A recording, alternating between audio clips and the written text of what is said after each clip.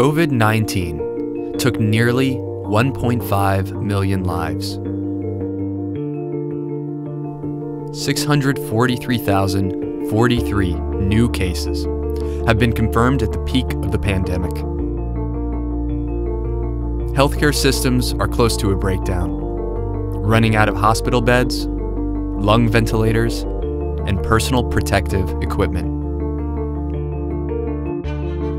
We can't be indifferent when people are dying.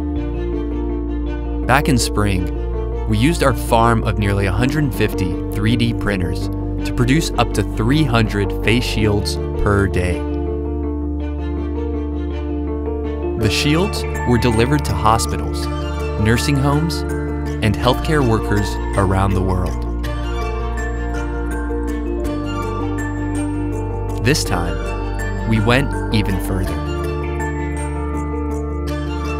We launched a full-scale assembly line producing face masks.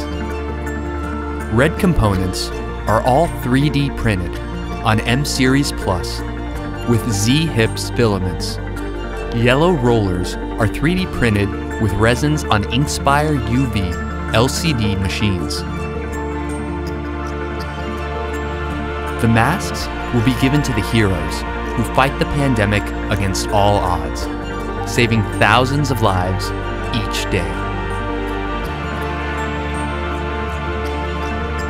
A line like this can make 120,000 masks in a working week, which adds up to 6,240,000 masks a year. Not much, considering the big picture. But we're glad our technology can make this fight a little bit easier.